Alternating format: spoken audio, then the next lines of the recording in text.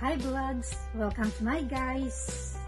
Subscribe, like, comment, and share. And click the notification. So guys, today's menu is I'm going to cook uh, probinsyang uh, pag, pagkain, no? Ang tawag sa amin is kusido, kusidong isda. Sinigang sa kamatis po. So, hiwa tayo ng luya. Luya. Next is bawang.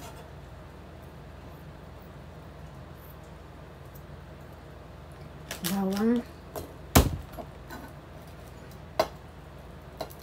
Sarap po kumain ng may sabaw ngayon kasi umuulan po rito malamig.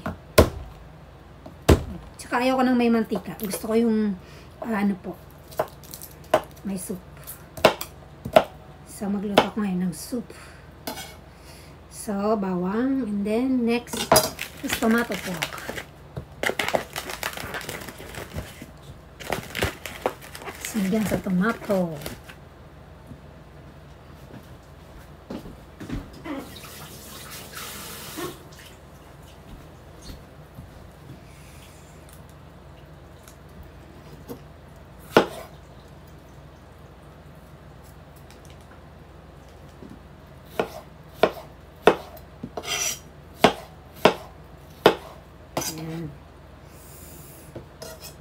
Natin.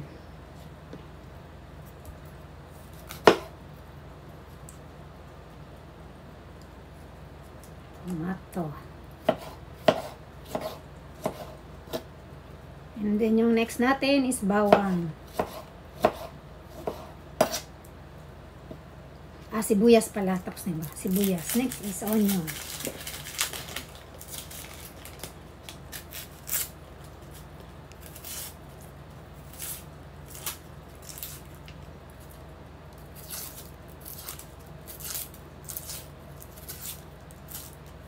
So, dito po kasi walang uh, malunggay or talbos ng kamote. Ang ititwist na lang po nating gulay is ang talong and okra po. Yan na lang po ang natin. Na panlalagay kong gulay.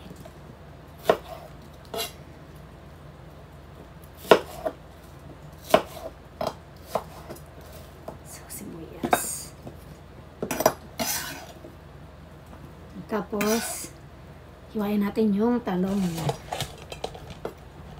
Madami itong talong na to. Galing po to sa aking tanim. Kaya, kinuha ko na kasi tumitigas na po mga pangkiliti. Tumitigas na. O, ito, tamang-tama to. Hindi na to pangkiliti. Tumitigas na siya, kaya kahit maliit kinuha ko na. Baka hindi na makain. Sayang naman.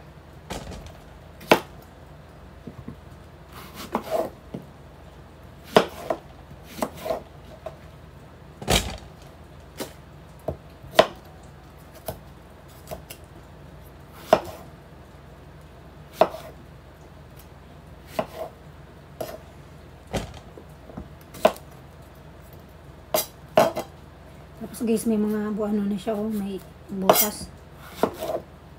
Napasok ng insekto.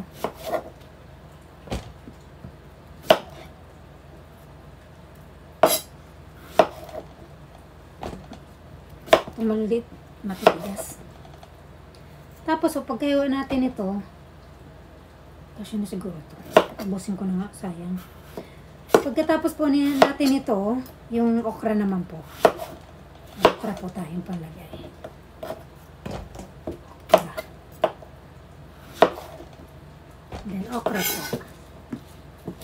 Tapos po, meron tayong leaves na sibuyas. Pangalagay din natin.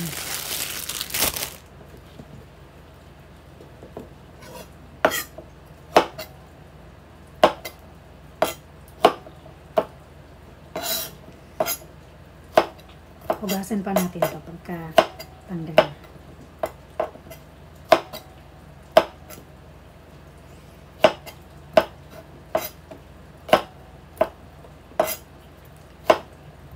Ayan, tapos hugasan na po. Tapos susunod po yung ating sibuyas. Tanggal natin ang balat. O ngayon guys, ay ilagay na natin yung 4 cups of water. Nilagay, mix na natin lahat to. Mga ah, ingredients natin. Diyan na po lahat. Sibuyas, bawang, aluya. Then, ito po, pakukulaan natin ngayon. Pakukulaan natin siya. Let's make pakulo. Lagyan mo siya dyan. Sa pakulo natin.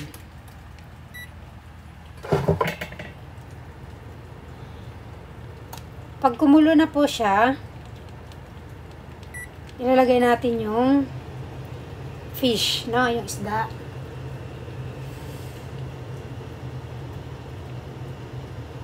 So, antayin natin po siyang kumulo.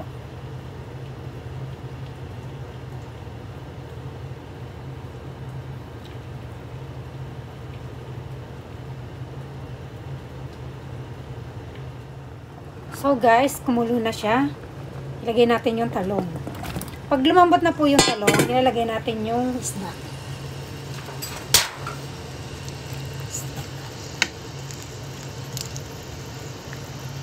Kasi po yung isda malambot, baka madulo.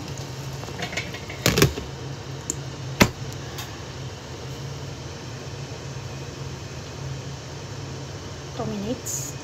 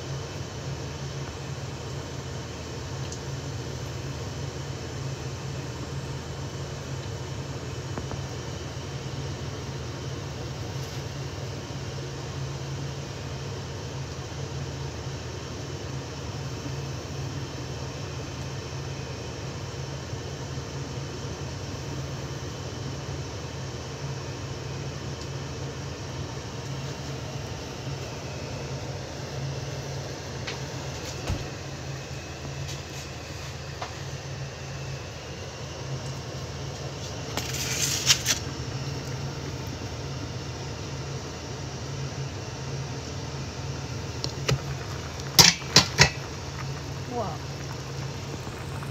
So, yun na guys.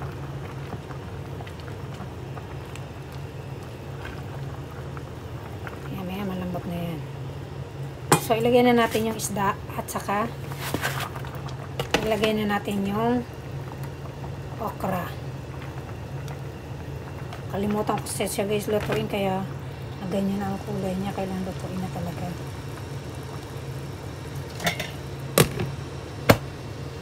And then,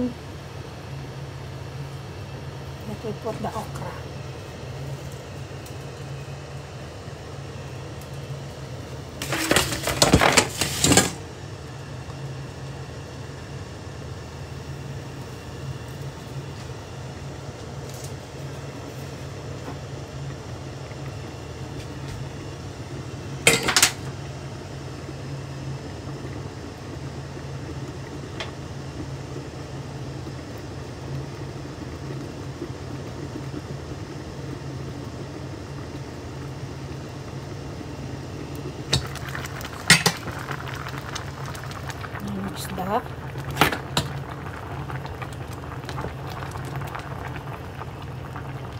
Yan po, ah, sinigang po yan sa kamatis.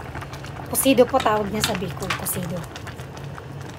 So, sa totoo lang po, mas masarap yan ilagay na ah, gulay is malunggay or talbos ng kamote. Kaso nga po, walang talbos ng kamote at malunggay. Kaya po ang nangyari, ang meron po akong tanim is talong. Tapos yung okra po, siyempre binili natin. So, Lagyan po natin ng ah, kanyang flavor mix. Flavor mix niya.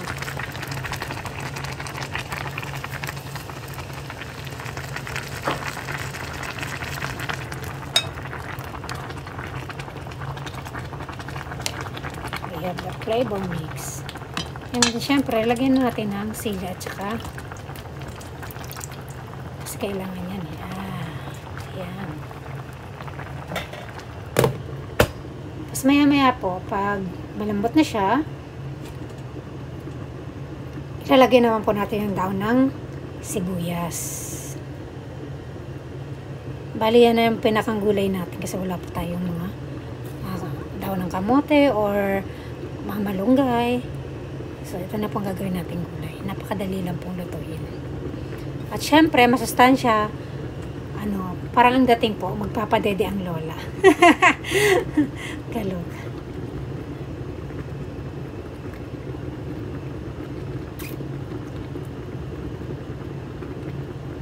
So, pinakalasli po natin ilalagay is yung daon ng sili. Ay, daon ng sibuyas. Yan.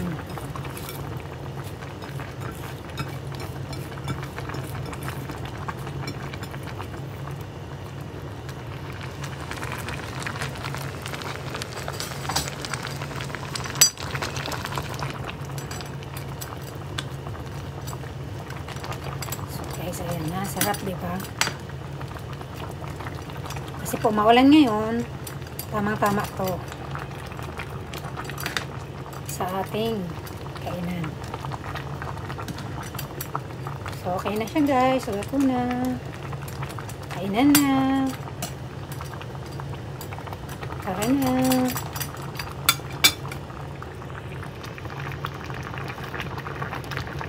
It's na. So, ready to serve na siya, guys. So, ayun na, guys. Ako'y kakain na. Wala pa yung aking jawatot sa aking anak. Ako muna kakain mag-isa. O, diba? Sarap. Masabaw. Tara na, guys. Kain tayo. Let's eat.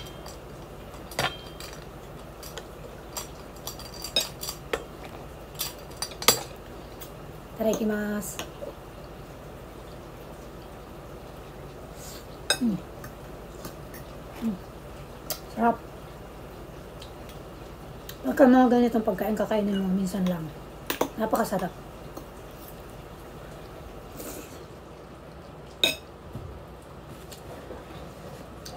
Sarap. Walang lasa.